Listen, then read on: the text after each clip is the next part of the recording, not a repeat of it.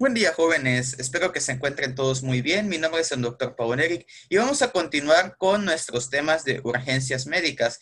El día de hoy vamos a ver el manejo general de los pacientes con alteraciones tanto de la vía aérea como de la ventilación. La evaluación de la permeabilidad de la vía aérea y la ventilación adecuada deberán de ser realizadas en forma rápida y precisa. Ya saben, en una situación de vida o muerte, en tiempo es vida.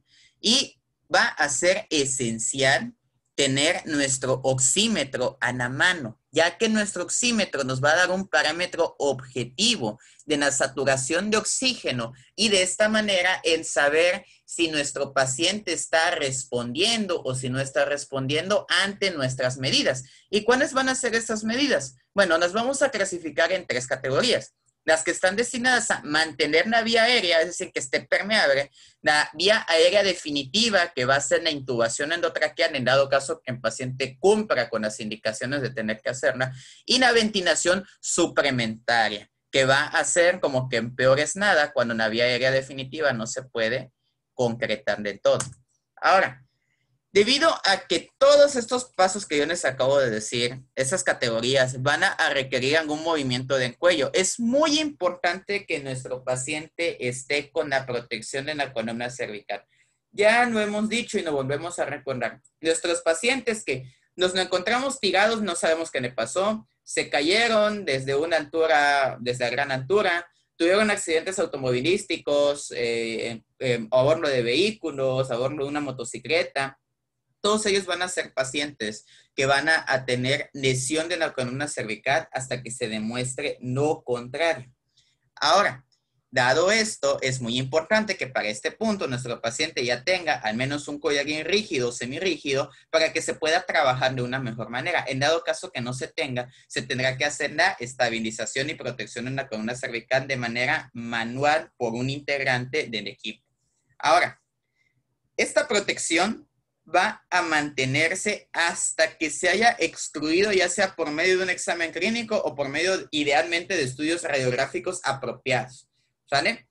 En ningún momento vamos nosotros a dejar desprotegida la columna cervical. Y es verdaderamente un desafío entender que están trabajando con un paciente así. Pero es que si nosotros llegamos a tener un descuido y nuestro paciente ya tenía una lesión cervical establecida, podemos llegar a condicionar daños irreversibles en la médula espinal que pueden incluso causar una muerte instantánea a nuestro paciente. Ahora, lo primero que se, se hará es administrar oxígeno de alto flujo, ¿sale?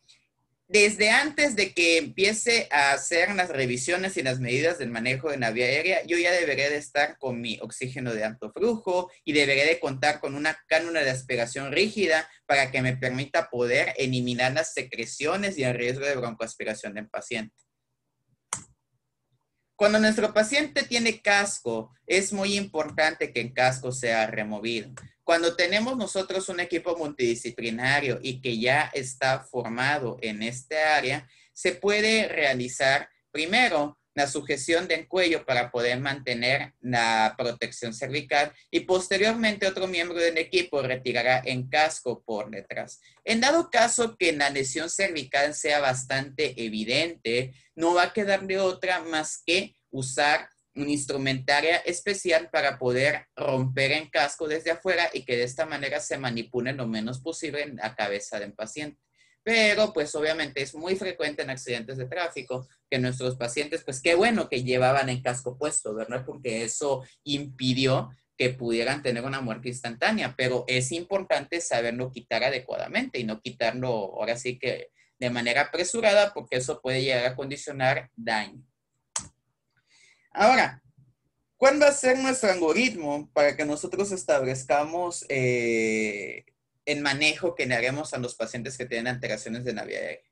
Una vez que nosotros ya nos dimos cuenta que nuestro paciente tiene un daño de la vía aérea, es importante que tengamos a la mano el aspirador, nuestra bolsa máscara de oxígeno, un AMBU, un naringoscopio, el material para poder hacer la intubación endotraqueal, un equipo de tricotiroidotomía quirúrgica o de función endotraqueal, porque nunca sabemos en qué momento una intubación se va a volver muy difícil y se tendrá que usar pues una intubación, una vía quirúrgica de emergencia. El oxímetro de pulso es súper importantísimo para que nosotros veamos si efectivamente después de las maniobras nuestro paciente ya está comenzando a saturar de una manera más exitosa, lo que implica que pues obviamente ya está respirando adecuadamente. También si hay un detector de CO2, pues qué bueno, ¿no? Pero si no, con el oxímetro de pulso nos podemos dar una idea. Y pues los medicamentos que se vayan a requerir según la situación, ¿no? Principalmente los anestésicos que se van a emplear durante el proceso de la intubación. Y no se olviden de proteger la columna cervical.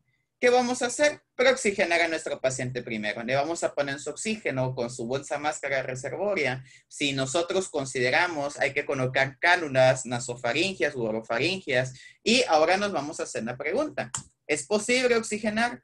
Si nuestro paciente no se puede oxigenar, ya sea por deformidades, por fracturas o por alguna otra condición médica, se, tendrá que pasar inmediatamente a la vía aérea definitiva o bien a la vía aérea quirúrgica. Si mi paciente sí se puede oxigenar, ahora va a tocar evaluar la anatomía de la vía aérea. Tenemos que, antes de que tengamos que intubar, ir viendo si la intubación será difícil o si será fácil.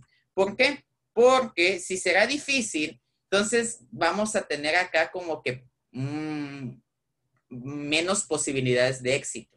Y va a ser importante que si yo de antemano estoy viendo que va a ser una intubación difícil y el equipo pues sí está diseñado para eso, pero tampoco es un mero mole poder hacer intubaciones difíciles, tendré que buscar ayuda si está disponible y considerar intubación en paciente despierto en dado caso que de plano no se pueda. Si es que está despierto, que lamentablemente muchas veces el paciente va a estar con pérdida del estado de conciencia.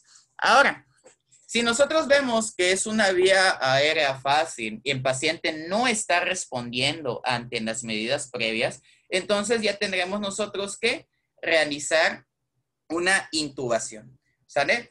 Antes de que nosotros hagamos la intubación, también tenemos una serie de dispositivos que nos pueden ayudar a que nuestro paciente pueda tener una mejor oxigenación.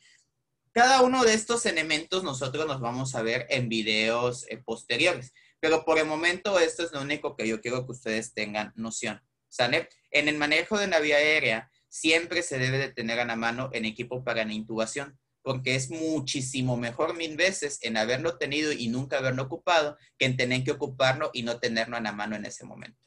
Y bueno, jóvenes, de esa manera llegamos al final de este repaso. Espero que les haya gustado este video, que me hayan entendido y nos vemos en el siguiente. Hasta la próxima.